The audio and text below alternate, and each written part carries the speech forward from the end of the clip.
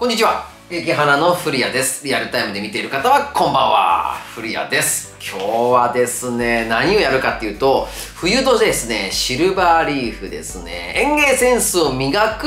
シルバーリーフの活用法とおすすめ5選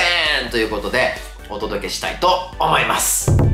まずですね、このシルバーリーフっていうのは何かっていうね、シルバーリーフ、まあご存知の方も多いと思うんですけど、まあ、何かって知らない人もいらっしゃるんで、ちょっとここだけ説明させてください。えー、分かってる方飛ばしていただいて結構です。えー、シルバーリーフってね、銀色とか、まあ白っぽい色とか、あとまあ、毛がね、あるタイプとか、粉が吹くタイプとかいろいろあるんですけども、あのまあそういう毛とかがないタイプもありますけども、まあ、白とか銀色の、えー、葉物類ですね。お花がメインっていうよりも葉っぱのですね、この雰囲気、えーと、結構、まあ、おしゃれなんで、えー、そのシルバーリーフがお好きな方なんかも結構いらっしゃるんじゃないかなっていうふうに思います。寄せ植えとかね、えー、あの使っていただけるとかなりこうハイセンスな感じでね、えー、皆さんも喜んでいただけるような仕上がりになるんじゃないかなっていうふうに思います庭に植えるとねかなり巨大化するものも中には入っているんですがこのシルバーリーフの使い方一つで、えー、比較的ですねおしゃれな雰囲気に仕上がってくるので、このおすすめのね、シルバーリースを5種類お話ししたいと思います。このシルバーリーフ、スタイリッシュで洗練されたイメージ。で、まあ葉っぱの形からね、何からいろんな形があるんで、使いやすいものを使っていただければと思います。まあ、冷え込みがね、厳しくなる。冬場、そして、えっ、ー、と、冬枯れした庭でもね、あの、まあ、常緑のもの結構あるんで、常緑っていうのは常に緑がある、まあ、葉っぱがあるっていう状態ですけども、えー、常緑のものなんかも結構多いので、このね、冬の寒々しいお庭、まあ、パンジービオラもね、えー、もう凍っちゃったりするじゃないですか。凍ると花が咲かなくなっちゃうんで、ちょっと寂しいと。そういうところにシルバーリーフがあると非常にいいですね。なので、冬場ちょっとお庭が寂しいなっていう方にもおすすめです。そして控えめな、えー、雰囲気、えー、葉っぱの個性的な形、これがですね、メインの植物を引き立ててくれるっていう効果もあるんですね。なので、まあ、寄せ植えに使ってもいただいてもいいですし、お庭の植栽に使っていただいても結構なんですけども、まあ、組み合わせでね、やっていただけるとよりいいんじゃないかなっていうふうに思います。では、本編に入っていきますよこの5つの、えー、シルバーリーフご紹介していきたいと思います1つ目1つ目はですねこれ白大菊の仲間なんですけども大人気ですねシルバーレースですこれがね、えー、非常にいいんですよ。まあ、この辺出てますけども、シルバーレース可愛いですよね。若干ですね、根っこが弱い、えー傾向がありますが、根がしっかり張ってしまうと非常に強いです。カナリア諸島、カナリア諸島ですね、アフリカ大陸のカナリア諸島の原産の植物で、えー、基本ですね、常緑の多年草って言って、えー、夏でも、えー、冬でも葉っぱがあるっていうものになります。で、まあね、葉っぱがね、この細かくレースの雰囲気になってるのが非常に人気なので、それがいいんじゃないかなっていうふうに僕なんかもね、おすすめしたいものなんですけども、あの、白い花も咲くんですよ。まあ、清楚で可愛い感じですね。ただ、花が咲くとですね、株が弱ります。そして、えー、日本特有の梅雨、そして夏。これですね、カナリア諸島って比較的ですね、乾燥している地域なんですね。なので、えっと、日本の高温多湿化だと夏越しが難しいとか梅雨越しが難しいなんていうことが結構多いです。で、えー、寒すぎてもダメなんで、北海道とか、あと東北の方もなかなか難しいんじゃないかなとは思うんですけども、関東一世の方は特にいいんじゃないかなっていうふうに思います。まあ、夏越しもしやすいですね。えっ、ー、と、どちらかというと、えー、乾燥してるというか風通しのいい地域、海沿いの方の地域の方だったら意外といいんじゃないかなっていうふうに思います。で、えーまあ、特にですね土は水はけのいいものを使っていただければ意外といけるんじゃないかなっていうふうに思います。2つ目いきますよ。2つ目は白体菊です。まあもう定番ですよね。まあダスティーミラーっていう名前もついてたりもしますけども、まあ、ダスティーミラーとかっていうとちょっとかっこいいじゃないですか。で、えー、このね白体菊なんですけどこれねあのー、ま、シルバーリーフの、ま、昔からある定番定番中の定番です。で、まあ、庭植えにするとですね、ちょっとでかくなりすぎるっていうデメリットはあるんですけども、あのー、とにかく丈夫。丈夫です。誰にでも使えるシルバーリーフっていう感じですね。なので、できるだけですね、小ぶりのもので、えっと、ひょろひょろって出てるもんじゃなくて、こんもりしているものを選んでいただければいいと思います。パンジービオラの寄せ植えでも全然もう使えますし、お庭に植えてもいいと思います。で、えっと、意外とね、僕の経験だと、ご年配の方は、もうこれ大きくなるから嫌なのよねっていう方なんかも非常に多いです。これもですね、常緑の多年草なんですよ。で、寒さ、暑さに強いんで、夏場でも全然いいですし、黄色い花も咲きますしね、なかなか可愛いやつなんですが、庭植えして巨大化したっていうね、経験を持ってる方なんかもいらっしゃると思うんで、まあまあ寄せ植えなんかでね、使っていただけるといいんじゃないかなっていうふうに思います。そして、初心者の方にもとにかくおすすめです。まあ管理がしやすいんで、まあ少々水あげすぎたりとか、少々水あげなさすぎたりとかしても、へこたれないぐらいの強さを持っています。もともとがキク科なんでね、ダスティミラーっていうのは非常に強いんですよ。なので、えー、まあ比較的おすすめの品種になります。3つ目、3つ目です。3つ目はエレメエレモフィラニベア。ちょっと噛んじゃいました。エレモフィラニベア。もともとはですね、オーストラリア原産の植物になります。まあ、この辺出てるんでわかると思いますけども、エレモフィラってピンクの花咲くんですよね。これもまたなかなか可愛いですね。で、寄せ植えに使う方非常に多いんですが、冬場ですね、どっちかっていうと秋から春までかなっていう感じです。で、えー、ちょっとですね、寒さに弱かったり、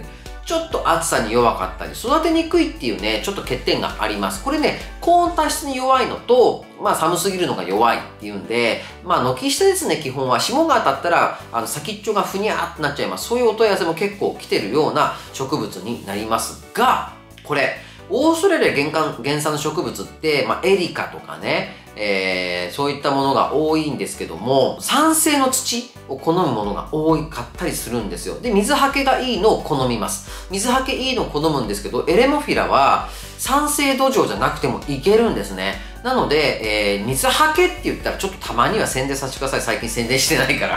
えー、これね、白い袋、いつも置いてありますけども、何でしょうっていうことで、これね、膨らむ培養土って言ってね、うちのね、オリジナルの土なんですよ。ココヤシの、えー、チップとか、ピートモスとか、えー、繊維とか、そういったのが入っている土なんですね。なので、えー、っと、輸入してきてます、これは。向こうで、向こうで作って輸入してきてます。なので、うんと、これね、燃やせるゴミに出せるんですよ。燃やせるゴミにね。なのでね、水はけも最高にいいので、こういった土を使っていただけるとエレモフィラとか育ちやすいんじゃないかなっていうふうに思います。で、えっ、と、夏場、エレモフィラの夏越しなんですけども、これね、雨が当たらない風通しのいい場所って、夏は半日陰がいいですね。そういった場所が作れないっていう方は、一年草扱いで楽しんでいただければいいのかなっていうふうに思います。えっ、ー、と、相性がいいのはガーデンシクラメンですかね。ガーデンシクラメンと相性いいです。スパンジービオラとはちょっとですね、似合うんだけど相性が悪い。うん、水やりの関係でね、相性が悪くなっちゃうんで、ガーデンシクラメンあたりと、えー、組み合わせていただけるといいと思います。で、ガーデンシクラメンも霜に当たるとダメなんで同じ場所でいけるんですよ。その辺がいいんじゃないかなっていうふうに思います。4つ目。セラスチュームですね。セラスチュームって植物知らない方のために一応画像を出しておきます。この辺に。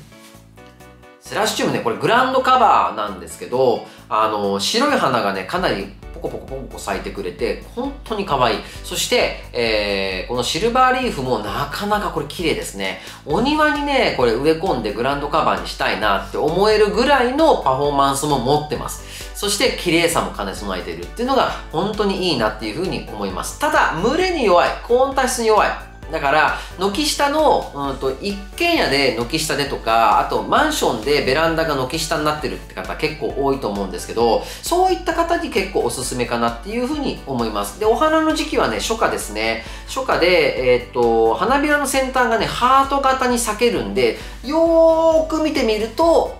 可愛い。でその辺りのことをスマホでこう拡大しながら写真なんか撮ってねこう楽しんでいただければなっていうふうに思います。そして肥料はあんまり好まないですセラスチューム。なのでね痩せた土を好みます、えー、通常の培養土とかうちのえ、膨らむ培養土もそうなんですけど、えー、元火入りっていう風に書いてあります。で、それの入ってる元火っていうのは微量なので、えー、そういう